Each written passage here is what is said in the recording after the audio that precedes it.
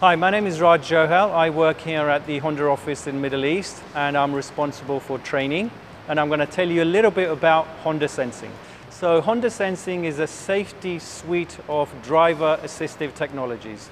So it's designed to reduce driver fatigue, but also take care of some of the normal activities you would do in the car automatically. And it also looks out for hazards around the road. So maybe somebody crossing the road or when you're changing lanes, it helps you to keep the car within the lane. So we have a radar at the front of the car, okay, which scans the road ahead up to 1,000 meters. And we have a camera mounted onto the windscreen, so which looks at also the lane keeping markings, uh, pedestrians. So basically both camera and the radar work together to provide these safety technologies. So Honda Sensing, as I mentioned, is a comprehensive suite of safety technologies. So in there we have road departure mitigation. So if the vehicle swerves to one lane or the other, the steering will automatically correct and bring you back in line. We have lane keeping assist, so which works in, on highways and keeps the vehicle within the lanes.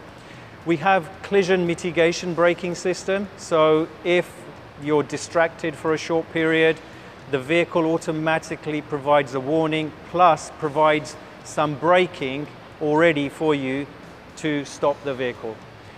Other parts of Honda Sensing are pedestrian detection, so at low speed, so the camera and the radar work together to detect a pedestrian and apply the brakes to bring the vehicle to a stop in case you uh, may hit the pedestrian.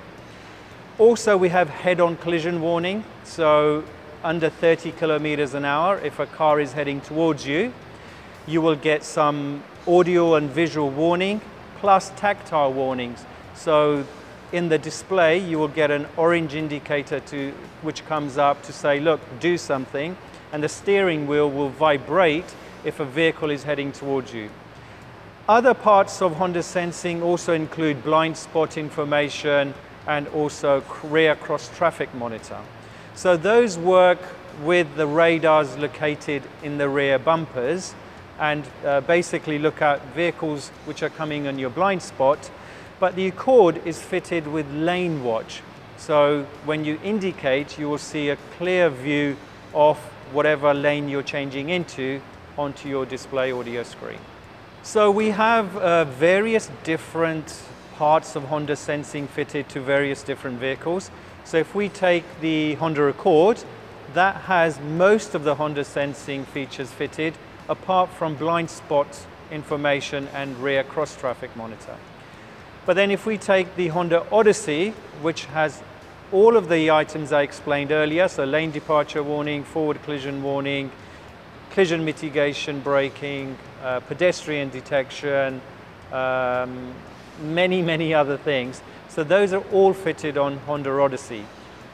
Honda Odyssey J has some of those features, but the previous generation Accord was also fitted with Honda Sensing, but not all of the features you will find in the new Accord, which has adaptive cruise control with low speed following.